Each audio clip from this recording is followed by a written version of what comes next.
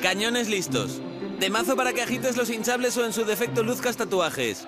Y subidón final.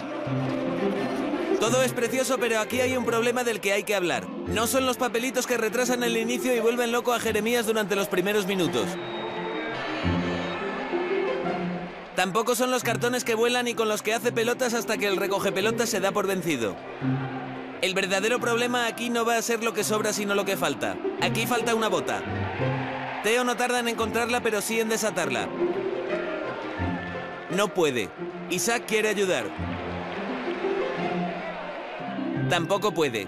Decide pedir ayuda y es entonces cuando se dirige al banquillo e intenta señalar su bota como queriendo decir bota, pero sin suspender su bota en el aire. Mientras Jeremías hace algo de tiempo ahora que el suelo no está lleno de cosas. Teo al fin lo logra. Por eso alza su brazo para pedir volver a entrar al campo y al otro lado se interpreta como que sigue pidiendo ayuda. Así que por ahí llega Rubén con no uno sino dos pares de botas nuevas. Y ahí quedan por si en ningún momento le hacen falta a nadie.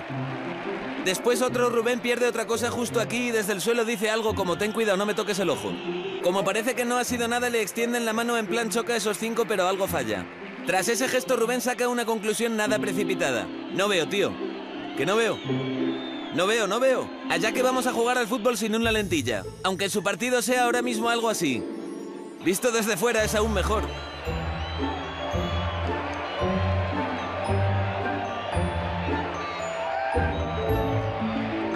Después de este pase a uno que también va de amarillo se dirige al banquillo. Por estos gestos. Y esta cara.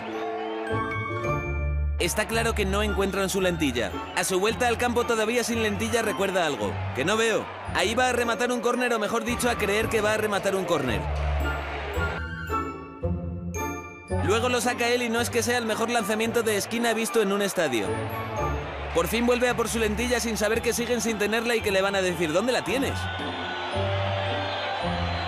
Rubén pide ayuda a otro compañero que no parece muy predispuesto a bajar también al vestuario a buscar. Cuando por fin la encuentran, esto es lo que ocurre ocho minutos después. Cambio en el Cádiz Club de Fútbol. Se retiran Rubén, su lentilla y todas las botas de Teo. Y entra en su lugar la teoría de que en toda buena fiesta siempre hay alguien que pierde algo.